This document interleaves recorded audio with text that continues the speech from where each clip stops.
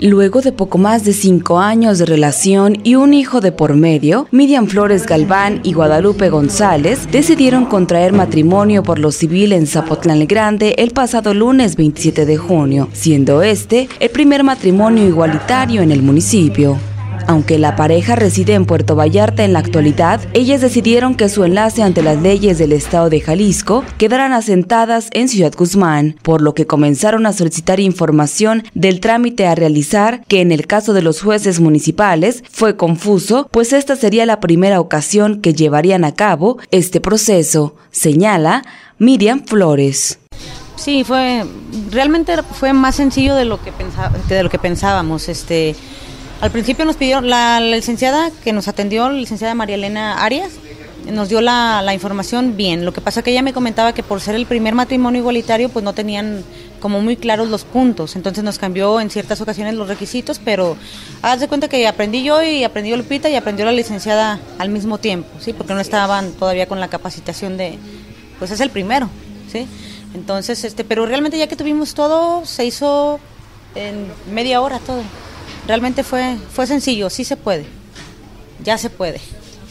Se nos hizo la oferta, eh, se le puede llamar oferta, para que nos casara el presidente municipal. No dimos una decisión rápida, entonces el señor presidente tuvo un evento en ese día y no pudo acomodar tiempos.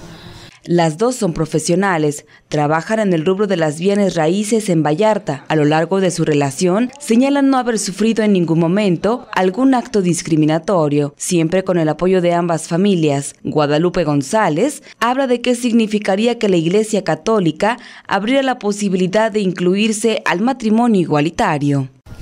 Sí, también pienso lo mismo, ¿no? Es este yo creo que la felicidad de, nosotros, o sea, que dimos este paso, eh, principalmente, bueno, porque sabemos cómo es todo esto, ¿no? Un poquito difícil también para nuestras familias, eh, que desafortunadamente no todos piensan de la misma manera que podemos, o sea, pensarlo nosotros. Si se da, sería hermoso para todos nosotros, ¿no? Y, y muy bonito, ¿no? La pareja celebró la unión ante las leyes del estado de Jalisco, rodeada de familiares, en un lugar particular del municipio. Miriam Flores espera que poco a poco las puertas para la igualdad de derechos se vaya abriendo. Pues sí, sí, sí, que sea mejor cada día. Pues todos tenemos los mismos derechos, todos pagamos impuestos, todos tenemos que ir a trabajar, no es una enfermedad como dicen, pues si fuera enfermedad entonces que me den una incapacidad para no ir a trabajar. Y ya. todo que siga en proceso, que se sigan abriendo más puertas para las personas que tenemos pues gusto eh, diferente. Es, sí, es que por, por ponerle un nombre, porque el amor es amor aquí, en África y en todos lados. Tú tienes que ser feliz tú y tenemos que seguir luchando todos de la comunidad gay para que pues algún día esto sea normal para la gente que no es normal, porque es algo bonito, es amor, amor es amor.